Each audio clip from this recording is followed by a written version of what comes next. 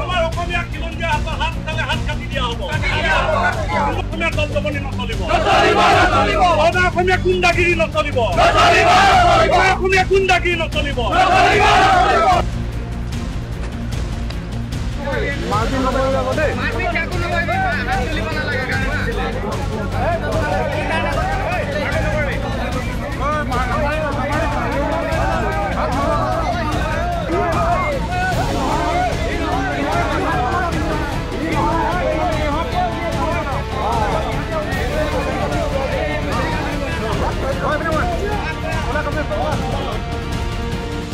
ঘটনাটো মানে মই লাঞ্চৰ পিছত যেতিয়া ঘৰৰ পৰা লাঞ্চটো কৰি আহিছিলো তেতিয়া কমলেশ কুমাৰ নামৰ এজন ছুপাৰভাইজাৰে মোক ক'লে যে কেবুলডাল তুমি কেবুল এডাল আছে এডাল লে কৰি দিয়া বুলি পেনেললৈকে তাৰপৰা মই কৰিব যাওঁতে মই অলপ মাথাত দুখ পাইছিলো ছাইডতে ত' মই সেইকাৰণে মোৰ লগৰজনক পঠিয়ালো।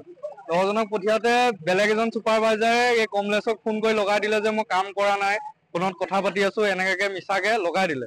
এতিয়া মই তেখেতক ক'লো যে কিবা যদি কমপ্লেইন আছে আৰ চি এমক কোৱাগে তুমি কমলেশ ছাৰক কেলে ফোন কৰিছা? এতিয়া সেইটো কথা মই অলপ তাক টানকে কওঁতে সি কমলেশ ছাৰক ক'লে যে এই ল'ৰাটোৱে মোক গালি পাৰিছে আমুক তামুক এনেকা কওঁতে কমলেশ ছাৰে মোক গোটেই জাতিটোক লৈ মা ভন্টি দেউতাক লৈ পুৰা গোৱাল গালি পাৰিছে। আৰু মাৰিবলৈও আহিছে। চোকা অস্ত্ৰ বিচাৰিছিলে মোক মাৰিবলৈ। এইটো টাইমত নাপালে কিন্তু পোৱা হ'লে হয়তো মোক মাৰি দিলে হয়। কিন্তু মাৰিবলৈ তেওঁ পুৰা হাণ্ড্ৰেড পাৰ্চেণ্ট চেষ্টা কৰিছিলে। তাত দুজন তিনিজনে ৰখাই মেলি তেওঁক ৰখাইছে আৰু বহুত বেয়াকে গৈছে। জাতিটোক লৈ হওক আমাৰ স্থানীয় মানুহখিনিক লৈ হওক মোৰ মা দেউতা ভাইটি পাৰ্চনেলকে মোক গালি পাৰিছে সেইটো কাৰণে মোৰ বেছি অলপ বেয়া লাগিছে। কামৰ ক্ষেত্ৰত গালি পাৰিলেও কেছ নাছিলে। দীপাংকৰ দাস। কোন কোম্পানী আছে? এইটো ষ্টাৰ্লিং তেওঁ ছুপাৰভাইজাৰ কৰে কমলেশ কুমাৰ বুলি গম পাওঁ নামটো। বিহাৰৰ। আৰু দুজন নতুনকে দুজন ছুপাৰভাইজাৰো আনিছে সি তাৰ ভায়েকে নে কি নাজানো। যিজনৰ কাৰণে কাজিয়া হ'ল সি তাক ফুল চাপৰ্টত লৈ তাৰ ভুল শুদ্ধ নাচাই মোক মানে গালিৰ পৰা গালি গালি পাৰি আছে। চবৰ আগতে মোক মানহানি কৰিলে আৰু।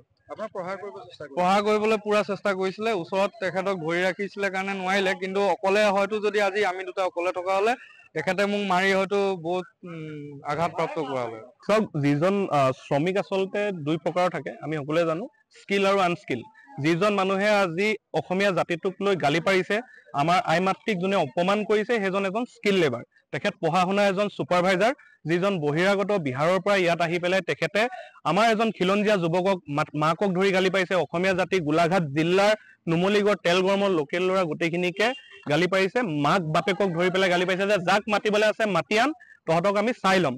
সেইদৰে তেখেতসকলে কথা কিছুমান কৈছিলে। আমাক ল'ৰাজনে বীৰ লাচিত সেনা অসম আৰু এ জে ৱাই পিক জনালে। জনোৱাৰ লগে লগে আমি আহি ইয়াত উপস্থিত হলোহি। পুলিচ প্ৰশাসন আহি উপস্থিত হলি। পুলিচ প্ৰশাসনে আহি উপস্থিত হৈ তেখেতক ইতিমধ্যে আটক কৰিছে বুলি আমি গম পাইছো। আমি এতিয়া থানালৈ যাব- যাবলৈ ওলাইছো। তেখেতৰ ওপৰত আমি এখন এফ আই আৰ ৰুজু কৰিম। তেখেতৰ একো নাই। এটা সাধাৰণ তেওঁ কাম কৰিব। যিজন লোকেল ল'ৰাজন আছিল তেখেতে মাথাত দুখ পাই থকাৰ বাবে তেওঁ ক'ৰবাৰ এটা পাইপলাইন এডাল ধৰিব পৰা নাছিল। ধৰিব নোৱাৰাৰ বাবে তেখেতক মাৰিবৰ বাবে চোকা অস্ত্ৰৰে প্ৰহাৰ কৰাৰ এক চেষ্টা হাতত লৈছিলে। চাওক এনেকুৱা একো কথা নাই যে বহিৰাগত মানুহ আহিলেহে কামখিনি চলিব। তেখেতসকলক সোনকালে লাগে। সোনকালে কাম কৰাৰ বাবে তেখেতসকলে সেই মন্তব্য কৰিছে যদিও আমি এটা কথা কওঁ যে যোগ্য মানুহখিনি যেতিয়ালৈকে অসমত আছে ইমানখিনি অসমীয়া এতিয়া বিশ্ব দৰবাৰত প্ৰতিষ্ঠা হৈ আছে। তো ইয়াত আমাৰ অসমীয়া মানুহ নাই নেকি যে তেখেতসকলে ল'ব নোৱাৰে? যদি তেখেতসকলে কিবা কাৰণত ইয়াত সেই স্কিল লেবাৰজন যদি নাই তেখেতে বাহিৰৰ পৰা যদি আনিব লগা হৈছে তাত আমাৰ কৰিব লগা নাই। ইণ্ডাষ্ট্ৰি এটা চলাবলৈ যিকোনো জেগাৰ পৰা কাম কৰিবলৈ মানুহ আহিব পাৰে। কিন্তু কথাটো হ'ল সেই স্থানীয় যিটো লেংগুৱেজ যিটো অসমীয়া ভাষা আছে। নুমলীগড় কৰ্তৃপক্ষই যিসকলে চাহ খাই খাই অফিচত বহি থাকে দিনটো তেখেতসকলে পোন্ধৰ দিনৰ অসমীয়া ক্লাছ দিয়াৰ ব্যৱস্থা কৰিব লাগে। অসমীয়া ক্লাছ দিয়াৰ পিছত যোনে স্কিল লেবাৰজনে অসমীয়া ক'ব পাৰে তাৰ পিছতহে ইয়াত তেখেতসকলে কাম কৰিব পাৰিব। সেই হিচাপে আমি এখন আমি কাইলৈ এখন পত্ৰ প্ৰেৰণ কৰিম। ইয়াৰ যিজন প্ৰজেক্ট মেনেজাৰ আছে লগতে আমি এম ডি ছাৰলৈ এখন দিম বুলি চিন্তা কৰিছো।